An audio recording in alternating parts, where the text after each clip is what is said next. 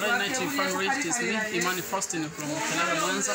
I would like to share with you my business is all I'm conducting now. As I- I'm selling, I'm selling lice, and here I'm in a uh, processing machine, and uh, it is within the processing machine. We, after completing the process, now the goods is uh, uh ready for selling. And here is my shady time since I have started my business, and uh, in this time I was up to get a loss, but I thank God because today I have, I have already sold more than 70 kilograms here, and here as more that have remained. This is the tin that we use to measure.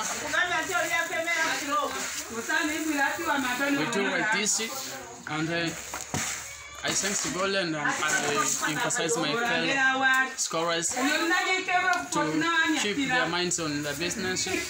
Whatever your business may be going through to get a loss, to be disappointed.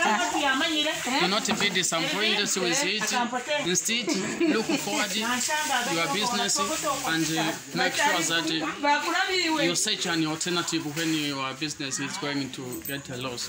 Thank you, and may God bless you. We are together.